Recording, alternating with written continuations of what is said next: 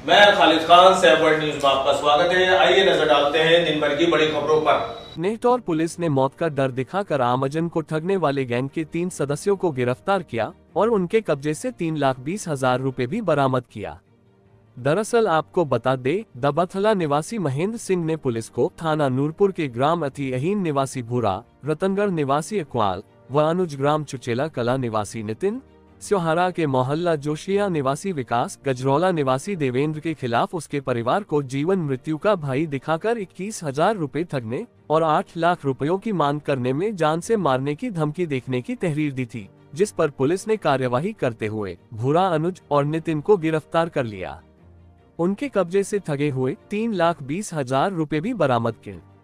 Police शेष तीन अभियुक्त के गिरफ्तारी के प्रयास में जुटी हुई है। पूछताछ में पता चला कि वह अपने साथियों के साथ मिलकर लोगों को उनकी समस्या का समाधान करने के नाम पर पूजा अर्चना आदि का क्रिया करने के रुपए लेते थे। अनुकुल बाबा का रूप धारण करता था और देवेंद्र द्वारा एक माता का रूप धारण किया जाता था, जिसके द्वारा अपने हाथों पर किसी प्रकार का पदार्थ लगाकर आग लगाई जाती है।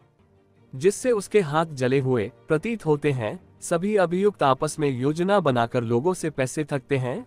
उन्होंने बताया कि हमारे द्वारा पूरी कार्यवाही रूपों के लिए की जाती है और रुपए न देने पर व्यक्तियों को उनके परिवार सहित मार देने की धमकी भी देते हैं। फ़िलहाल पुलिस ने तीनों आरोपियों को गिरफ़्तार कर लिया है। Bureau report. हर खबर को सबसे पहले जानने के लिए चैनल को सब्सक्राइब करें, वीडियो को लाइक करें और शेयर करना ना भूलें।